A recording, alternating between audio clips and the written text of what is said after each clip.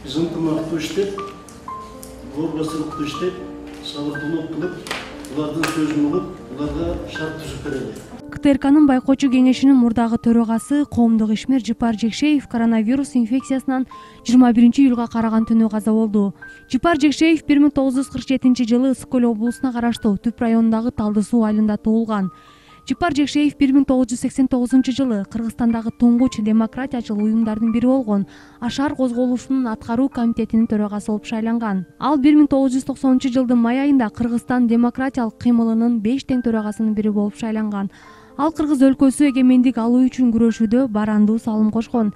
Жекшеев бир миң тогуз жүз токсон беш эки миңинчи жылдары кыргызстандын кош палаталуу жогорку кеңешинин мыйзам чыгаруу жыйынынын депутаты адам укуктары жана мамлекеттик кызматкерлердин этикасы боюнча комитеттин төрагасы болгон эки миң бешинчи жылдын жыйырма төртүнчү мартындагы биринчи элдик ыңкылаптан соң ошол жылдын апрель айынан тартып абалды турукташтыруу боюнча мамлекеттик комиссиянын төрагасынын орун басары болгон. эки миң тогузунчу жылы кыргыз республикасынын президенттигине талапкерлигин койгон.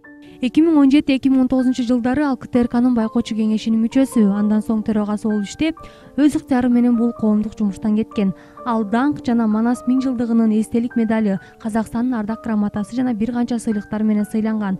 Жыпар жекшеевдин артында эки кыз төрт уулу калды. Супер kg порталынын эмгек жамааты жыпар жекшеевдин мезгилсиз дүйнөдөн кайткандыгына байланыштуу үй бүлөсүнүн жана жакындарынын аза кайгысын тең бөлүшүп терең кайгыруу менен көңүл айтат.